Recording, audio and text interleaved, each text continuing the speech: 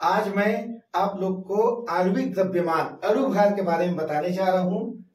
अणुभार किस प्रकार से निकाला जाता है और इसकी परिभाषा क्या है यह मैं आज बताने वाला हूँ।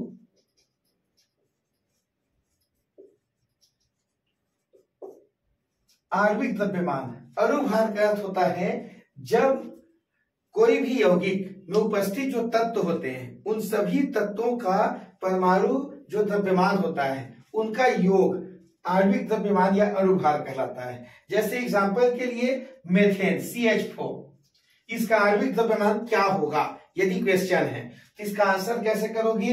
सबसे पहले इसमें कार्बन और हाइड्रोजन दो एलिमेंट्स है, दो तत्व है। कार्बन की संख्या इसमें एक है और हाइड्रोजन इसमें चार है। इनको लिखना है। इसके पश्चात कार्बन का परमाणु द्रव्यमान होता है बारह। और हाइड्रोजन को होता है एक। इनको इंटू कर देना है। तो ये हो जाएगा बारह, ये हो जाएगा चार। अब इनको प्लस करेंगे तो होगा सोलह। अर्थात मेथेन का आणविक द्रव्यमान होगा सोलह।